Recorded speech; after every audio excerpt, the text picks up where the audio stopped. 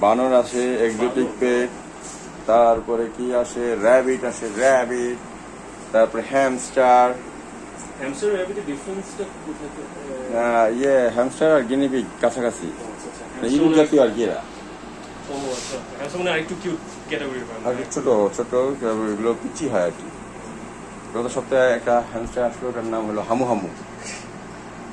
হামু হামু মনে হচ্ছে আপনার সিনেমাতে দেখা যায় যে একটা দৌড়াতে থাকে। হ্যাঁ হ্যাঁ হ্যাঁ কিন্তু কত টেস্টিং মেস্টিং হ্যাঁ।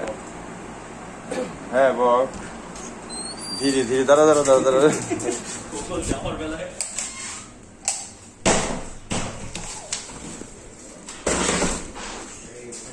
হ্যাঁ হ্যাঁ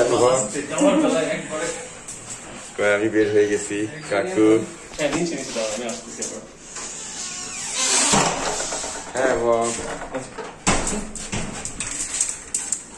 ও পুরো বুলডোজারের মতো হুম তুই ফুল আছে। দাঁড়াও চলো আমি ব্যাগটা নিয়ে আসি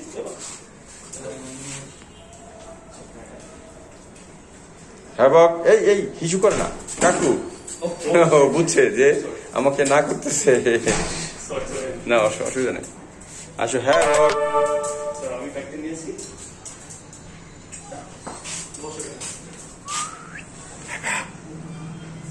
বক এই যে বক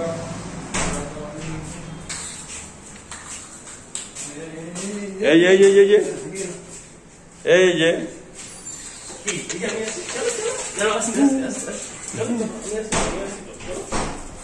ও, ওনার না থাকলে ইনস্টিটিউট হয়ে যায় অসুবিধা নেই তো বুঝে না এই তো বিস্কিট যখন আসছিল না, এই, এদিকে ভালো। বাবা ভান্ডারি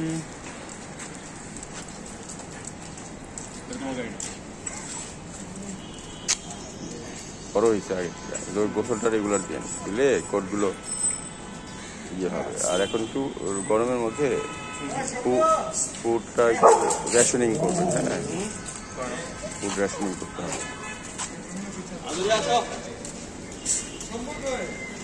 আরে আদুরিতে ধরে ফেলাইব। আদুরি তাড়াতাড়ি ভাগো। ধরলে খবর আছে।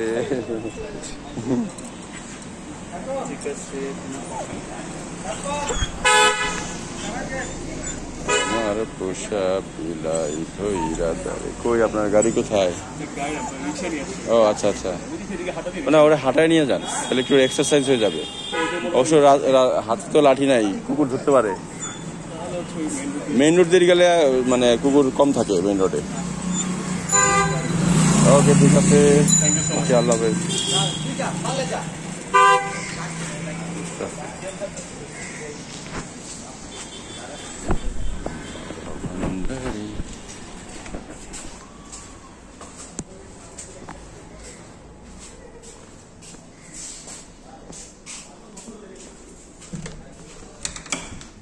এই বেলাল এখানে ঝাড়ু দিয়ে দাও, দেখো টুকরাটা কি অনেক কিছু সুন্দর সুন্দর জিনিস পাঠাই ফেলাইছে।